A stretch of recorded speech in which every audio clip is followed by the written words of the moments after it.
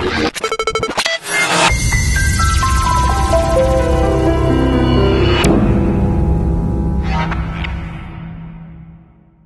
عليكم ورحمة الله وبركاته. أهلا بكم في كايرو دار دار العلم لكل دار. والنهاردة إن شاء الله في المحاضرة بتاعت النهاردة هنعمل مراجعة على الفصل الثاني وخصوصا أجهزة القياس. وهتبقى مراجعتنا على شكل مجموعة من علل وما معنى أن ومقارنات وكده. بس بعدها إن شاء الله هندي مجموعة كويسة جدا من المسائل تخص فقط أجهزة القياس. ونبدأ مع بعض ال- الدرس بتاع النهارده إن شاء الله. وأول مجموعة في الأسئلة بتقول ما معنى أن وأول سؤال فيها بيقول ما معنى أن كثافة الفيض المغناطيسي عند نقطة بيساوي 2 من 10 تسلا؟ والسؤال الثاني بيقول ما معنى أن حساسية الجلفانو ذو الملف المتحرك بيساوي 2 درجة لكل امبير آه، السؤال الأول إجابته لما يقول لي ما معنى ان كثافه الفيض المغناطيسي عند نقطة؟ أقول له أي أن القوة المؤثرة على سلك طوله واحد متر ويمر به تيار كهربي شدته واحد أمبير وموضوع عمودي على مجال مغناطيسي منتظم هذه القوة تساوي 2 من 10 نيوتن. طبعا إحنا جبنا الإجابة من القانون اللي بيقول إن ال B بتساوي ال F على ال I في L اللي هي القوة المغناطيسية المؤثرة على سلك مستقيم.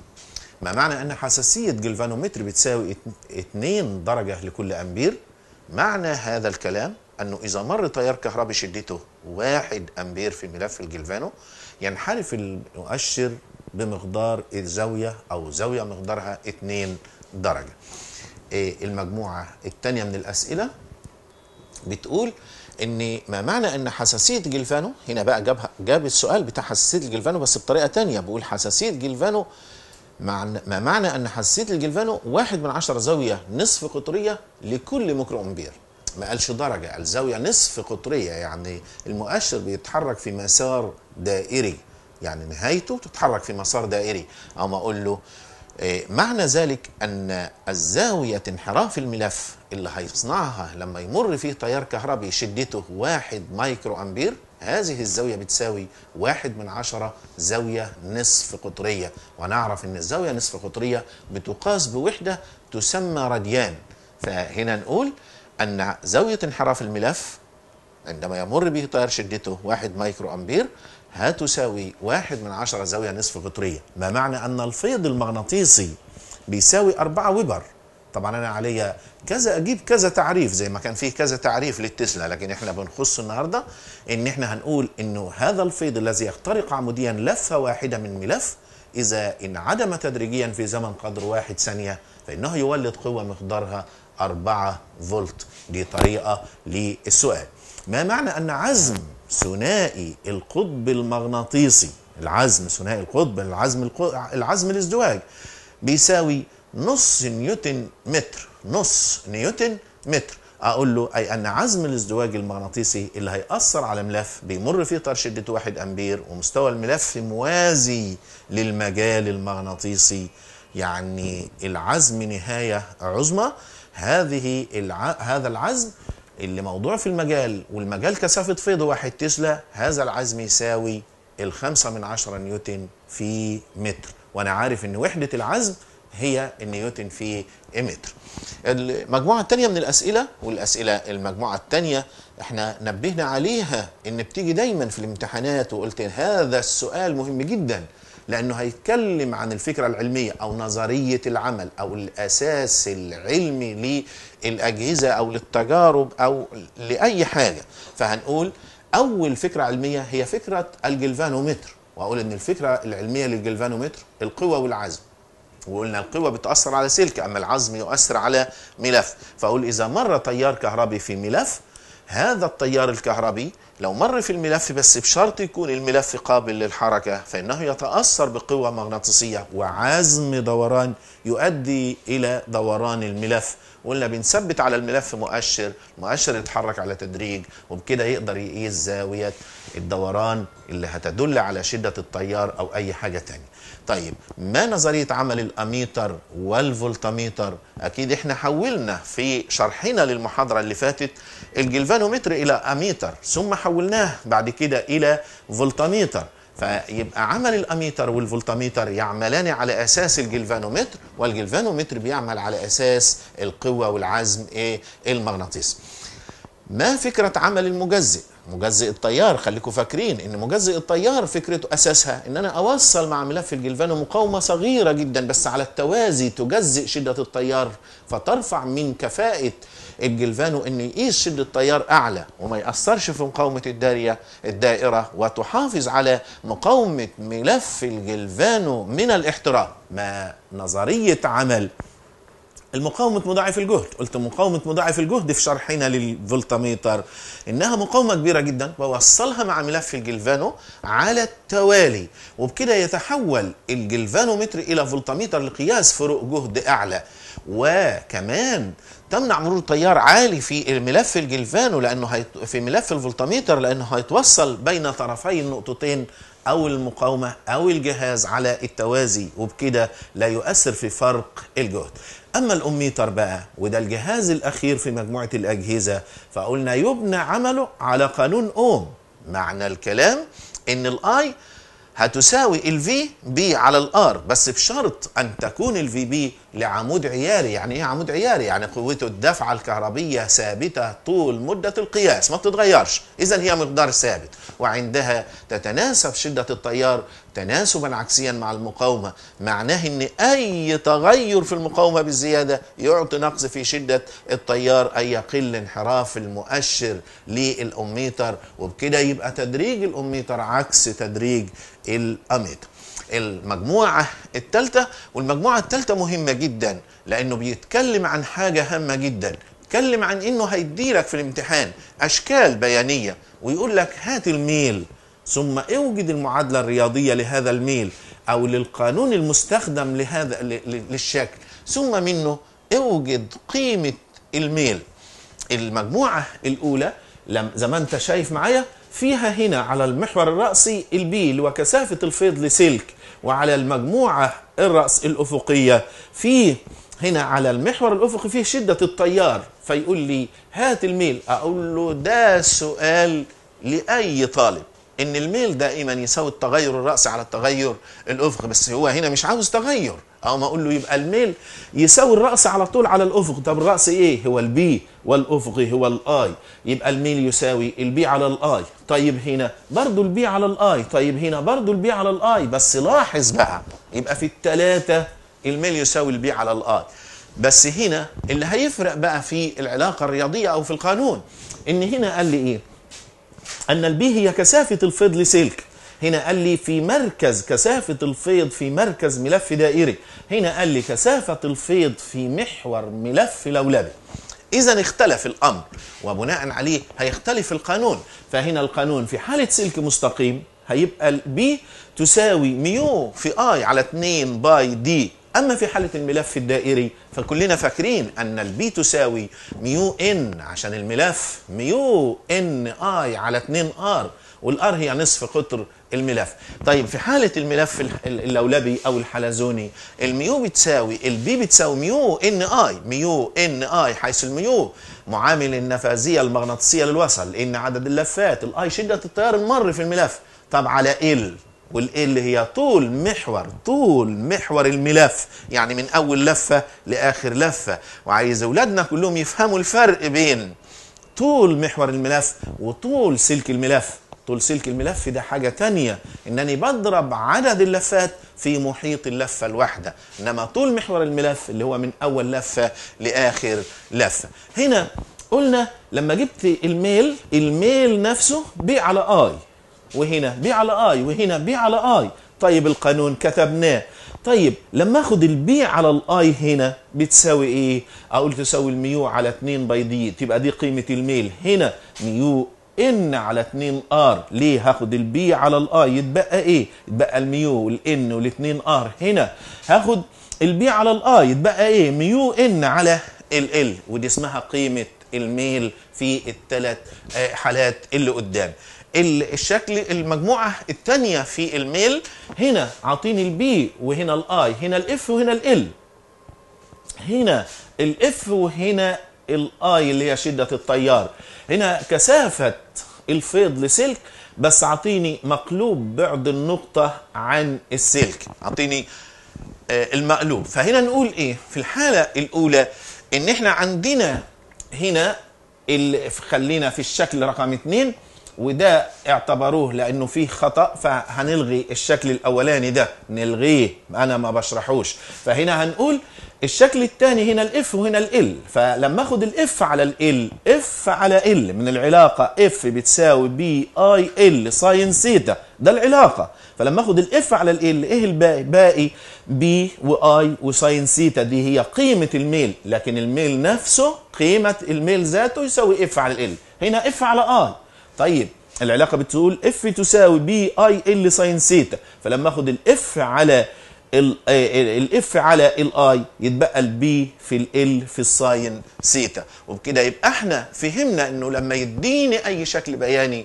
الميل دايما يساوي الرأس على الأفق. طب وبعدين؟ أجيب القانون. طب وبعدين؟ أعزل قيمة الميل اللي معطاه من الشكل البياني في ناحية الباقي من القانون في الناحية الثانية يبقى الميل يساوي القيمة الباقية من القانون مهما كانت رموزها. بس أخلي بالي هل الميل بيتناسب طرديا مع تلك القيمة ولا يتناسب عكسيا؟ لأنه ممكن يقول لي أثرت قوة على سلكين في مجالين مختلفين أي القوتين أكبر على السلك؟ طبعا أنا لازم أبقى أفهم إن العلاقة هل هي علاقة طردية ولا علاقة عكسية؟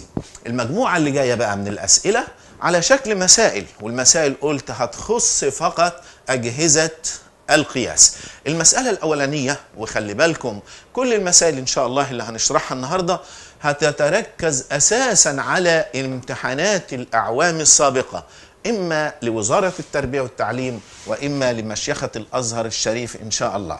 فالمسألة الأولانية اللي هناخدها النهاردة جت في امتحانات مصر في وزارة التربية والتعليم سنة 2012 إيه، المسألة بتقول جلفانومتر ذو ملف متحرك لا يتحمل ملفه لا يتحمل ملفه.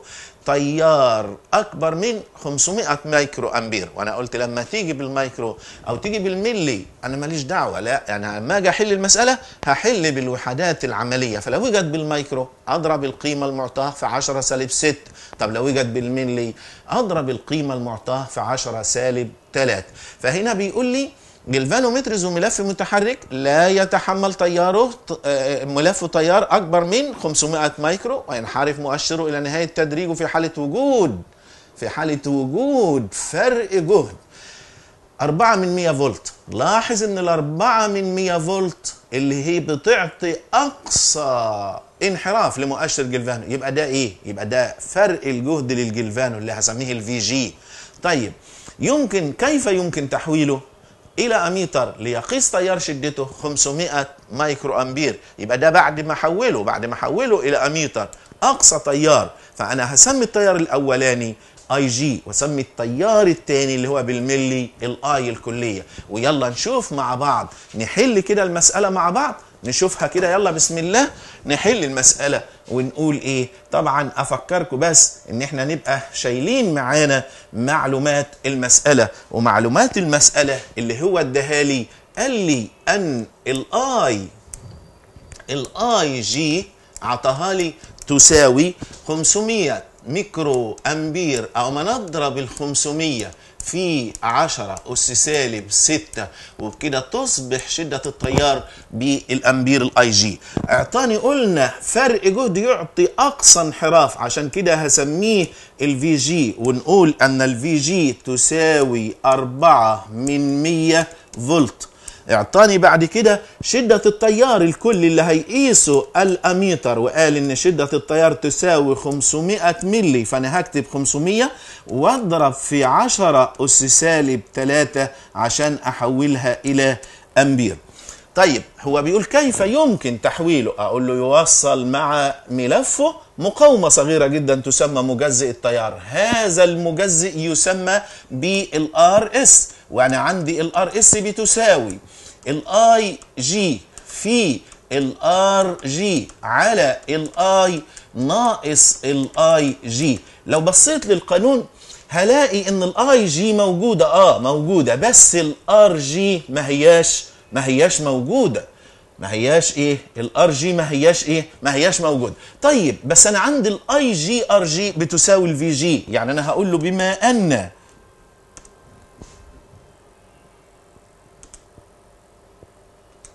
بما أن ال IG في ال RG بتساوي بتساوي ال VG.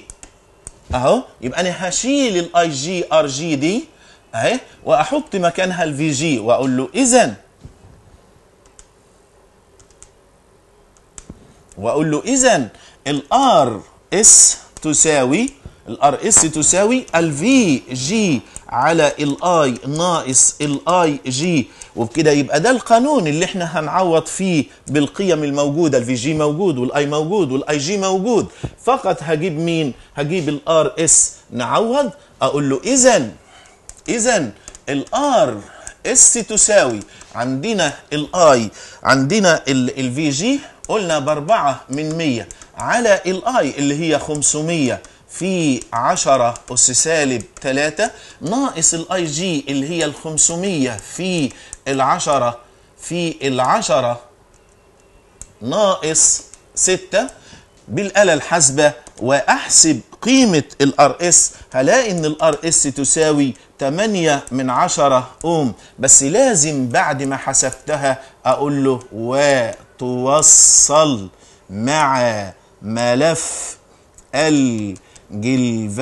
الجلفانومتر على على التوازي لأن إحنا محتاجين إن إحنا نحوله إلى فولتميتر وقلنا اسمها مقاومة أو مجزئ لشدة الإيه؟ لشدة التيار نشوف مع بعض المثال رقم اتنين والمثال رقم اتنين بيقول إن شوفوا كده مع بعض. المسألة هنا للأزهر 2011 ومسائل الأزهر بصراحة بتعتمد على لغة عربية فصيحة قوية في اللغة. فعشان كده لازم وأنا بقرأ مسألة الأزهر أضغط شوية على ألفاظ اللغة فيه. هنا بيقول في المسألة جلفانو متر مقاومة ملفه 10 أم تبقى دي إيه؟ دي الأر جي. أقصى تيار يمكن قياسه بواسطته 400 ملي أمبير يبقى ده التدريج كل التدريج. بيقول وصل بمجزئ للتيار ثم وصل في دائرة كهربية تحتوي على مقاومة 8 أوم. وعمود كهربي قوته الدفعة 15 واحد ونص فولت. مهمل المقاومة الداخلية. عند غلق الدائرة أيوة انحرف مؤشر الجلفانو إلى 3 على 4 من التدريج اللي هو التدريج ال 40 ملي أمبير بيقول احسب قيمة المجزئ احسب قيمة الإيه؟ المجزئ تمام. المؤشر انحرف إلى 3 على 4 من قيمة التدريج. يبقى ال IG هتساوي 3 على 4 من التدريج اللي فوق اللي هو ال 40 ونبدأ نحل سوا كده المسألة مع بعض ونشوفها كده مع بعض الحل. بس نرسم مع بعض الدايرة لأن رسم الدايرة أكيد هيساعدنا كتير. وهنا بيقول لي إيه؟ إن هو عطيني عطيني هنا كده مقاومة. قيمة المقاومة دي 8 أوم. وبعدين جه هنا راح واخد الجلفانو اللي مقاومة ملفه اللي مقاومة ملفه 10 أوم. بعدين وصل معاه مقاومة RS هنا كده أهي آدي ال RS. وبعدين وصله مع بطارية أو عمود قوته الدفعة واحد ونص فولت. وبعدين طبعا أكيد أي دايرة بيبقى فيها مفتاح. بعد كده بقول لي إيه بقى؟ هات الأول قيمة ال RS. أو أنا أقول له إنني عشان أجيب ال RS لازم أجيب قيمة ال RG. ال IG طيب ال IG هتساوي إيه؟ هتساوي 3 ارباع 3 على 4 من قيمة التدريج اللي هو عطهولي اللي هو كام؟ اللي هو 40 ملي أمبير. أو لما أجيب التلاتة في 4 هطلعها تطلع 30 أهو التلات ارباع 30 ملي أمبير. 30 ملي أمبير دي أضربها في 10 اس سالب 3 على أساس تصبح بالأمبير. وبكده يبقى أنا عندي ال IG بعد كده أقول له إن أنا عليا من الاي جي أجيب الفي جي أهو نجيب الايه ال VG طيب ال VG هتساوي إيه؟ هتساوي الاي جي في الار جي طيب الفي جي الفي جي في الار جي الفي جي في الار جي الاي جي في الار جي أنا عندي الاي جي ب 30 في 10 أس سالب 3 طيب وال RG عطاها لي هنا في المسألة قيمتها 10 أو ما نضرب الكلام ده في 10 يبقى ال 30 في ال 30 10 سالب 3 في 10 الكلام ده يساوي 3 من 10 فولت ويبقى عندي كده ال VG طبعا محسوب بوحدة مين؟ بوحدة الفولت. كده حسبناه. طيب أنا حسبت كده فرق الجهد اللي على طرفي الجلفانومتر والمقاومة بتاعته اللي اللي هو المجزئ ال RS. طيب الفرق الجهد الكلي كام؟ واحد ونص فولت. أنا خدت فرق الجهد اللي هنا في المنطقة من هنا لهنا اللي هو على طرفي ال RS والجلفانو طلع معايا 3 من 10 فولت. طيب يبقى فرق الجهد اللي على طرفي المقاومة 8 أوم يعني بين النقطتين دول يساوي كام؟ أقوم أسميه فرق الجهد على طرفي المقاومة 8 أوم يساوي فرق الجهد الكلي للبطارية أو القوة الدافعة الكهربية البطارية اللي هي الواحد ونص ناقص 3 من 10 فولت. يبقى هذه الفرق الجهد يساوي واحد واتنين من عشرة فولت. كده أصبح أنا عندي فرق الجهد اللي على طرفي المقاومة. طيب لما أنا جبت فرق الجهد عليا الآن أجيب شدة التيار الكلي. ليه؟ لأن شدة التيار الكلي هو نفس شدة التيار اللي هيمر في المقاومة. لأنني لما هقفل الدايرة التيار هيخرج كده هيمر في المقاومة الثمانيه ويبقى يتجزأ داخل الجلفانو. تمام. يبقى أنا أجيب شدة التيار هتساوي إيه؟ هتساوي فرق الجهد على طرفي المقاومة اللي هو في ال 8 أوم مقسوم على ال 8 أوم الآر ال 8 اللي هي قيمة المقاومة. طيب فرق الجهد كام؟ فرق الجهد إحنا حاسبينه واحد من 2 من 10 على قيمة المقاومة اللي هي ال 8 أوم. يبقى هنا أو ما أنا أقول يبقى شدة التيار الكلي تساوي 15 من 100 أمبير. كده أصبح شدة التيار الكلي موجود. وال IG عندي موجود. من خلالهم هما الاثنين ممكن أجيب ال RS اللي هي مجزئ التيار. يبقى أنا هجيب مقاومة المجزئ اللي هو مجزئ شدة الإيه؟ شدة التيار. وأنا قلت إن قيمة مقاومة المجزئ اللي هي ال RS تساوي ال IG في ال RG على ال I ناقص ال IG الكلام ده يساوي فقط نعوض أقول له ال IG اللي إحنا لسه حاسبينه من قيمة التدريج اللي هي 30 في 10 اس سالب 3 واضرب في ال RG اللي قيمتها عندنا ب 10 واقسم على I الكلية اللي إحنا حسبناها 15 من 100 أمبير. ناقص ال IG اللي هو نفسه اللي فوق اللي هو 30 في 10 أس سالب 3 وعن طريق الآلة الحاسبة أحسب ال RS. ألاقي إن ال RS بتساوي 2 ونص اوم والمسألة جميلة ومهمة لأن مسائل الأزهر دايما بيبقى فيها فكرة جميلة جدا جدا. وطريقة حلها برضو بتبقى جميلة. خلي بالكم إن فيه لسه في طريقة هنا.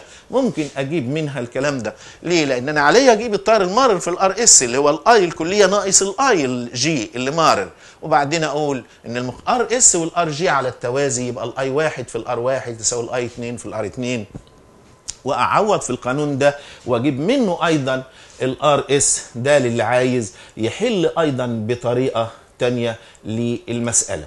المسألة اللي بعد كده ونشوفها مع بعض كده.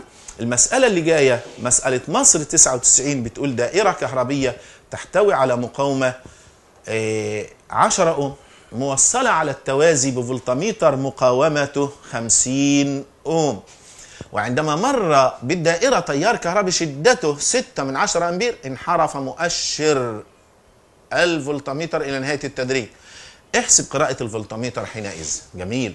وإذا وصل ملف الفولتميتر بعد ذلك بعد الكلام الأولاني بمقاومة على التوالي قيمتها 4950 أوم احسب أقصى فرق جهد يمكن أن يقيسه الفولتميتر في هذه الإيه؟ الحالة؟ نشوف مع بعض بس نفتكر دايما معلومات المسألة لأن معلومات المسألة مهمة جدا. نشوف كده مع بعض الحل ونقول في المسألة ديت هو قال إن هو عنده مقاومة. آدي المقاومة قيمة المقاومة دي 10 أوم. أهي وصل على التوازي معاها فولتميتر أهو آدي الفولتميتر والفولتميتر اللي هو عطوهولي هنا في الحالة دي مقاومة ملفه مقاومة الملف بتاعه كلها على بعضها 50 أوم. ثم كان مار تيار شدته 6 من 10 أمبير. أهو 6 من 10 إيه؟ أمبير. الحالة الثانية إنه هيبقى يوصل هنا المقاومة اللي هي 4950 هيوصلها هنا على التوالي كده. ففي الحالة دي من الكلام اللي قدامي علي أجيب المقاومة الكلية للمقاومتين ال10 اوم وال50 اوم ولما أجيبها أسميها ال R dash وقلنا ال R dash بتساوي حاصل ضرب المقاومتين على حاصل المجموع لأنهم متصلتين على التوازي. وأقول ان المقاومة الأولى بعشرة المقاومة بتاعه الجلفان الفولتميتر بخمسين على عشرة زائد خمسين. إيه الكلام ده؟ طبعا يبقى أنا جبت المقاومة اللي هتساوي 25 أوم مقسومة على الثلاثة أوم. دي قيمة المقاومة الإيه؟ للاثنين حيث إن أنا جبت بقى المقاومة الاثنين طيب وأنا عندي شدة التيار المار في الكل. يبقى أنا عليا أجيب ال VG اللي هو فرق الجهد أقصى اللي يعطي أقصى انحراف. فرق الجهد للجلفان اللي هيعطي أقصى انحراف. هذا الفرق هيساوي إيه؟ هيساوي شدة التيار الكلية. مضروبة في ال R dash طيب شدة التيار الكلية كام؟ شدة التيار الكلية 6 من عشرة. هضرب الستة من عشرة. مضروبة في ال R dash اللي هي 25 مقسومة على التلاتة. وبكده يبقى أنا جبت ال VG. وأقول أن ال VG في هذه الحالة هتساوي 5 فولت. يبقى أنا أصبح عندي ال VG ب 5 فولت. طيب بعد كده قال لي إيه؟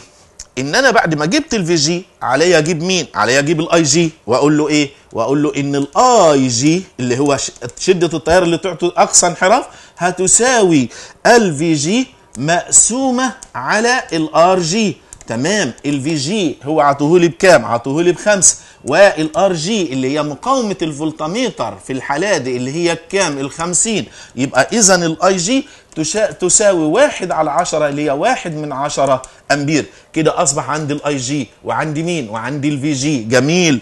آه هنا بقى قال إيه بعد كده؟ بيقول لي هات أقصى فرق جهد يمكن أن يقيسه إذا وصلت هنا مقاومة على التوالي يعني الدايرة هتصبح الدايرة نرسمها سوا أهو هتصبح الدايرة شكلها إيه؟ إن المقاومة دي عشرة زي ما هي أهي. وبعدين جه راح موصل الفولتميتر اللي هو مقاومته كانت 50 مع مقاومة على التوالي. قيمة المقاومة اللي على التوالي دي في الحالة دي قيمتها كام؟ أقول قيمتها 4950 أوم. طيب ودي هسميها إيه في الحالة دي؟ هسميها الآر إم. وبقول لي احسب أقصى فرق جهد يمكن أن يقيسه الفولتميتر في هذه الايه في هذه الحالة. أقول له أن أقصى فرق جهد للفولتميتر اللي اسمه ال V هيساوي الاي جي وقلت إن القانون اللي إحنا هنكتبه دلوقتي قانون هام جدا في ال Rg زائد ال Rm. أنا لسه حاسب الاي جي لسه حاسبينه من شوية. وكان عشر أمبير واحد على عشرة. أضرب في ال Rg وال Rg قيمتها 50 أوم. وال Rm اللي هو وصلها اللي قيمتها 4950 أوم. كده. ومنها أجيب أقصى فرق جهد يمكن أن يقيسه الجهاز في هذه الحالة عن طريق الآلة الحاسبة. هلاقي إن أقصى فرق جهد يمكن أن يقيسه الجهاز في هذه الحالة يساوي 500 فولت. مسألة جميلة وفيها فكرة حلوة. حاول تراجعها تاني معايا. بعد كده رجع تاني واتفرج عليها مرة واتنين وانقل الرسم ومعلش أنا بعتذر النهارده تاني عن ان إيه يعني الحالة النفس الصحية مش كويسة. عشان كده بعتذر إن في إيه حاجات بتظهر على الشاشة غصب عني المرة دي. ال- المسألة اللي بعد كده بقى نشوفها مع بعض كده نشوف كده المسألة اللي جاية وإن شاء الله تبقى فكرتها أحلى وأجمل جدا. ونشوف المسألة اللي جاية. المسألة هتقول إيه؟ المسألة نشوفها كده أهو. مسألة جت برضه في مصر 2012 بتقول جلفانومتر حساس مقاومة ملفه 40 أوم. طيب يبقى ديت ال Rg. ينحرف مؤشره إلى نهاية التدريج عند مرور التيار شدته 5 ملي أمبير. يبقى دي الآي جي. احسب قيمة المقاومة الموصلة مع الجلفانومتر مع بيان طريقة التوصيل في كل حالة من الحالات التالية. ودي أشهر مسألة بتيجي بتجمع بين الفولتميتر وتجمع إيه الأميتر مع بعض في مسألة واحدة. فالجزء الأول في المسألة عايزه يقيس تيار اقصاه 20 أمبير. معناه إن أنا هحول الجلفانومتر إلى اميتر في الجزء الثاني بيقول يقيس فرق جهد أقصاها 10 فولت يبقى أنا هحول الجلفانومتر إلى فولتميتر ما تنساش إن إحنا إن شاء الله هنحل كده مع بعض المسألة ونشوفها مع بعض واحدة واحدة كده ونشوف كده الحل. يلا مع بعض. بسم الله الرحمن الرحيم. ونقول إن هو هنا في المسألة إداني شوية حاجات هامة جدا. إن هو في الأول إداني ال Rg وقال إن ال Rg لملف الجلفانو بتساوي 40 أوم. طيب اللي بعده؟ قال لي إن أقصى تيار يتحمله أقصى تيار يبقى الاي جي ماله يتحمله؟ قيمته كام؟ قيمته خمسة. أيوه بس 5 ملي أمبير. قلت الملي أضربه في 10 أس سالب 3 عشان أحوله إلى أمبير. طيب الحالة الأولى بيقول يقيس تيار يبقى أنا هحول الجهاز أميتر. أروح أنا قايل له رقم واحد في الحل رقم واحد في الحل. أقول له إنني هحول الجهاز إلى أميتر. يبقى في حالة الأميتر. أنا هحسب مين؟ هحسب ال Rs. وأقول له يبقى ال Rs تساوي. الاي جي في ال Rg على على ال I اللي هو طالبها ناقص الاي جي أنا طبعا عندي الاي جي 40 وال Rg اللي ال Rg هي ال 40 أنا آسف في الاي جي هذا الاي جي اللي هو 5 في 10 اس سالب 3 على ال I اللي هو طالبها اللي هي 20 أمبير ناقص الخمسة في العشرة أس سالب 3 وعن آلة الحاسبة عن طريق الآلة الحاسبة أطلع ال Rs وال Rs تساوي واحد من مية أوم طبعا بعد ما أطلعها بالشكل ده لازم أقول له وتوصل وتوصل وتوصل مع ملف الجلفانو. الجلفانو متر لازم أقول له على التوازي لأنها تعتبر مجزئ لشدة الإيه؟ لشدة التيار. طيب في الحالة الثانية نفس المعلومات بس هو عايز يحوله إلى اتنين عايز يحول الجهاز إلى فولتميتر لقياس فرق جهد اقصاه ال V الكلية اللي هو هيقيس عليها بتساوي 10 فولت. طيب أنا قلت إن القانون الأساسي عندنا أن ال V بتساوي الاي جي في ال Rg زائد ال Rm ده القانون الأساسي في حل مسائل الفولتميتر. أو ما أنا أقول له إن هنا ال V اللي هو هيقيسها 10 10 فولت. يبقى هنا آدي ال V ب 10 طيب الاي جي اللي هي الخمسة في العشرة اس سالب 3 هنا وعوض عن ال Rg ال Rg قيمتها 40 أوم. طيب زائد ال Rm زائد ال Rm اما أنا أقول له يبقى ال 40 ال 40 زائد ال Rm تساوي العشرة على في عشرة طبعا. ال- العشرة على على الخمسة في عشرة أس سالب تلاتة. وبكده هنقل بس ال 40 الناحيه دي بس بإشارة سالبة وتبقى ال RM بتساوي 1960 اوم بس راجعوا النتيجة دي ضروري ضروري النتيجة دي تتراجع عن طريق الآلة الحاسبة. وبكده يبقى إحنا حلينا المسألة. يبقى باقي معانا أعتقد مسألة واحدة والمسألة دي تكون عن المين؟ الأميتر. والمسألة بتاعت الأميتر نشوفها مع بعض. والمسألة جت في امتحانات مصر. وزارة التربية والتعليم سنة 2007 والمسألة جميلة أوي أوي. بتقول أميتر ينحرف مؤشره إلى ربع تدريجه عندما وصل بمقاومة. خلي بالك إنه جاب الاميتر كله ووصله بمقاومة خارجية يعني RX ب 300 اوم احسب المقاومة التي تجعل مؤشره ينحرف إلى سدس التدريج. مسألة جميلة بس فيها فكرة بسيطة. إن إحنا في الأول نشوف كده مع بعض. هنا بيقول إيه؟ بيقول بيقول إن هو عنده وصل مع الجهاز مقاومة R مقاومة R X قيمتها 300 أوم. أهو. فجعلت المؤشر ينحرف إلى ربع التدريج يعني ربع ال IG يبقى مقدار الانحراف بيساوي ربع ال IG طيب أنا عندي لو أنتوا فاكرين كنا إحنا بنقول قبل توصيل المقاومة الخارجية كانت ال IG بتساوي ال VB اللي هي القوة الدافعه للبطارية. مقسومة على ال R dash حيث الار داش لو أنتوا فاكرين في المحاضرة السابقة كنا بنقول إن ال R dash هي المقاومة الكلية الداخلية للجهاز اللي هي ال RG زائد ال RC زائد ال RV زائد ال R small إن وجدت. طيب هنا بيقول إن المقاومة 300 جعلت المؤشر ينحرف إلى ربع التدريج. يبقى بعد ده قبل توصيل قبل. لكن إحنا بقى نتكلم عن مين؟ عن بعد توصيل عن بعد توصيل المقاومة. أو ما أقول له بعد توصيل المقاومة يبقى ربع ال IG ربع ال IG هتساوي ال VB مقسومة على ال R dash زائد ال RX. جميل. هنا هشيل الاي جي هشيل الاي جي دي وأعوض عنها بقيمتها من المعادلة رقم واحد.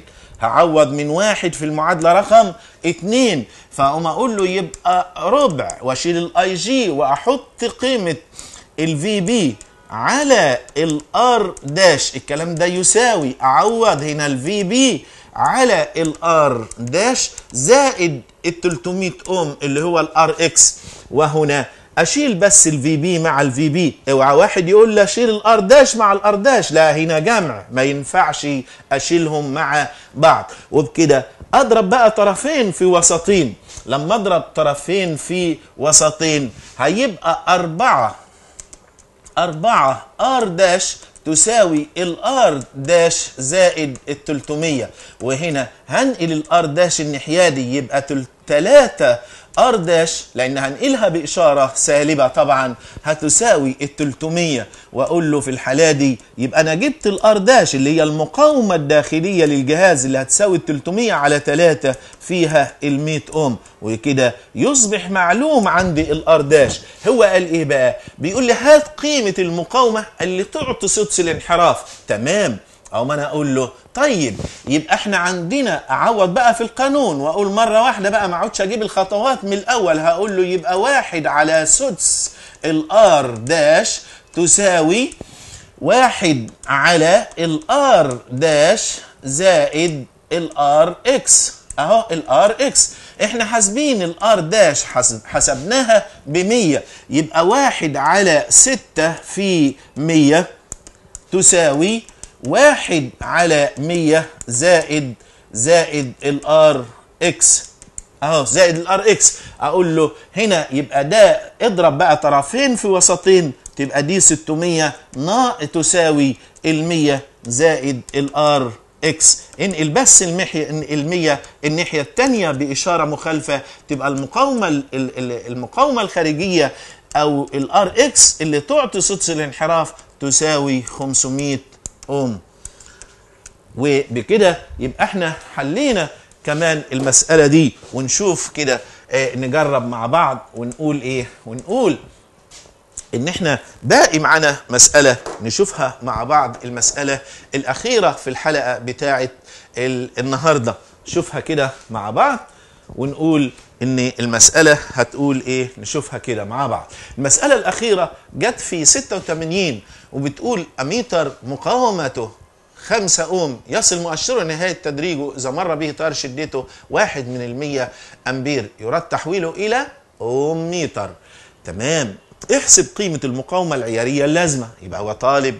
يا إما ال RV يا إما ال RC. وأنا قلت لك سمي أي واحدة فيهم المقاومة العيارية. لأن فايدتها إنها لما نظبطها أو نضبط قيمتها. هتعطيني أقصى قيمة انحراف لمؤشر الجلفانو الجلفانو قبل الأميتر قبل دمج المقاومة الخارجية. تمام. بيقول احسب قيمة المقاومة العيارية. إذا وصل بعمود كهربي قوته الدافعة واحد ونص فولت واحد ونص فولت مقاومته الداخلية اللي هي ال R small المهملة. خلاص يبقى أنا مش هكتبها في القانون. وبقول إيه؟ لحد هنا كده؟ دي مسألة. لحد هنا كده مسألة عشان أنا هحسب ال RV أو ال RC اللي هي المقاومة العيارية. بقول لي وما مقدار المقاومة التي عند قياسها بهذا الأميتر تجعل المؤشر ينحرف إلى خمسة من ألف من خمسة من الألف أمبير. وبكده يبقوا مسألتين. مسألة قبل توصيل المقاومة ال R X ومسألة بعد توصيل ال R X ونشوف الحل مع بعض كده في المسألة الأخيرة دي ونقول إيه بقى فيها؟